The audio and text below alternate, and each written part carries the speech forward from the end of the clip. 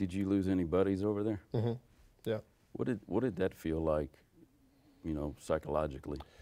Man, it, it's it's strange because you just never, e- even though you you recognize that some you know you could lose your life there and others can lose. I mean, it's war, right? We get that. Uh, intellectually, I understood it, uh, but emotionally, I wasn't ready Mm-hmm. for the fact that you may never see uh, that person again or hear their voice again, and it's it's there's no easy goodbye. It's not it's not uh, it's it's just abrupt, right? It's unexpected, and uh, it's just a lot harder to deal with. I think death in itself is harder to deal with when you don't know it's coming. Mm-hmm. Uh, and so it just takes a minute to get over that. And, and um, a funny story to that, uh, the, the guy that I'm talking about now, I met his mother at an event, um, at a Gold Star family member event, and I was there as a guest. And, and uh, there were two uh, women that walked up who were there. They were Gold Star mothers. And, and I said, you know, thank you for, um, you know, you know, your sacrifice for our country. And, and I said, I had a friend that, that, that I knew there that I lost. And, Mhm. and uh, I, I told her the name of him, and uh, she said, I'm his mother. Oh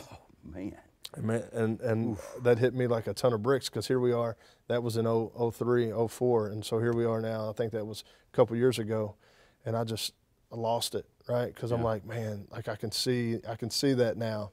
And she had a dog tag with his face on it, and uh, it was it was great that I finally got to meet a woman who raised such a great man. Mm-hmm. But it was it was like, wow, we've been in the same city Mm-hmm. all this time and never even knew it. And now we meet uh, at, at, at this point in, in that way. And, and Yeah. now we're, we're really close. Sure. We hug every time we see each other and, and we stay in touch. And she does a lot of great work Mm-hmm. for, for veterans in her own right. And, and uh, we just try to collaborate and stay in contact. Dude, I'm getting chills. You telling Yeah. that story, and see, that's the the God winks in life. Yeah, man. You can't tell me that that just happened. I mean, I turned mean- around because tears were flowing. Sure. And I turned around, and, and the guy that I was with, uh, he's Mm-hmm. like, you, you don't have to hide from it, man. But it just, I just was not expecting that Well, of course at not. all, right? And so, but I was so glad it happened. So Mhm. glad it happened because now we have a relationship. So, That's great. yeah.